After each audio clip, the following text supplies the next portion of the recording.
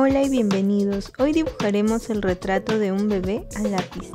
Hacemos un círculo, hacemos un cuadrado, dividimos el cuadrado y dibujamos dos líneas.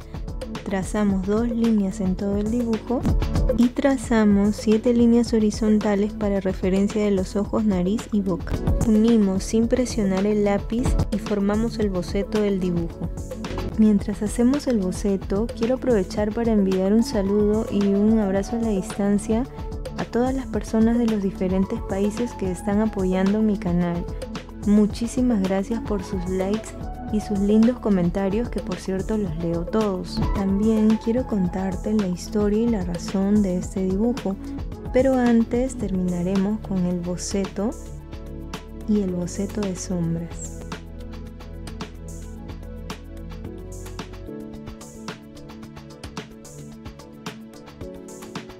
Es muy importante trazar la zona de sombra y la zona de luz para que se pueda considerar al momento de aplicar las técnicas y pintar el dibujo. Vamos a utilizar una herramienta que se llama difumino. Yo la hago con cartulina y formo una punta así. Para hallar la textura de la piel vamos a utilizar estas dos herramientas. El difumino que nos va a permitir visualizar un color más intenso y la servilleta el gris es mucho más suave. Con el borrador trazamos la zona de luz.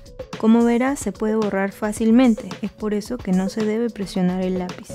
Ahora apliquemos las técnicas. En este caso marcaré un tono oscuro en el fondo para hallar mayor contraste con el tono claro del rostro. Uso el difumino para hacer el tono más intenso. En mis otros videos te he mostrado cómo dibujar cabello, ojos y labios. Dejaré el link en la descripción para que puedas visualizarlos y aplicarlos a tus dibujos. Uso la servilleta para la sombra clara de la piel y el difumino para todas las partes que muestren una zona oscura e intensa, tanto en el cabello como en el rostro. El motivo de este video es mostrarles con qué herramientas trabajar para hallar la textura de piel. Recuerda usar el borrador para resaltar las zonas de luz.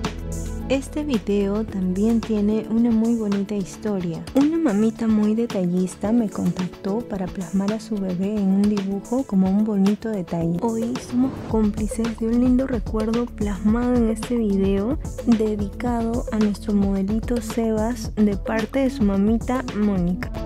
Me fascina cuando las historias se relacionan con los dibujos, ya que el fin de este canal es aprender la disciplina del dibujo, desarrollando habilidades de observación, de análisis, de motricidad fina para plasmar en un lienzo las expresiones que podamos captar o las emociones.